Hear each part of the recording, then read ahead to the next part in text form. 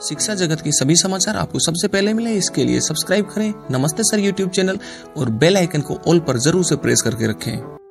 नमस्ते सर। राजस्थान के कार्मिकों और अफसरों के लिए बड़ी खबर है कि अब राज्य सरकार इन कार्मिकों को देगी साइकिल गिफ्ट। जारी होगी साइकिल नीति। 10 लाख साइकिल खरीदने हेतु आदेश भी जारी हो चुके हैं। किन किन कार्मिकों और अफसरों को मिलेगी ये साइकिल इस वीडियो में बात करेंगे, लेकिन भविष्य में समस्त अपडेट आपको सबसे पहले मिले, इसके लिए आप चैनल को सब्सक्राइब कर बेलाइकन कॉल पर ज़रूर से प्रेस रखिएगा। तो लिखा गया है, नई साइकिल नीति लागू करने की तैयारी में राज्य सरकार। सीएम ने मंत्री खाचरी आवास को सौंपा, साइकिल नीति का जिम्मा। खाचरी आवास ने ही शुरू किया था नो व्हीकल डे अभियान। साइकिल से ऑफ़िस आने जाने वाले कार्मिकों को मिलेगी साइकिल गिफ्ट। साइकिल से आने वाले कार्मिक और अफसरों के लिए एक शुरू का महीना होगा ऐच्छिक। उसके बाद में प्रयोग सफल रहता है तो साइकिल नीति होगी अनिवार्य। शहर में साइकिल ट्रैक्स का भी होगा दुरुस्तीकरण।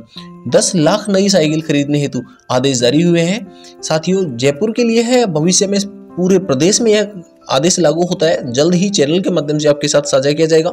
इसके लिए आप चैनल को सब्सक्राइब कर बेल आइकन कॉल पर ज़रूर से प्रेस करिएगा। आपका कोई सवाल है तो आप कमेंट सेक्शन में आवश्यक रूप से लिखिएगा। धन्यवाद।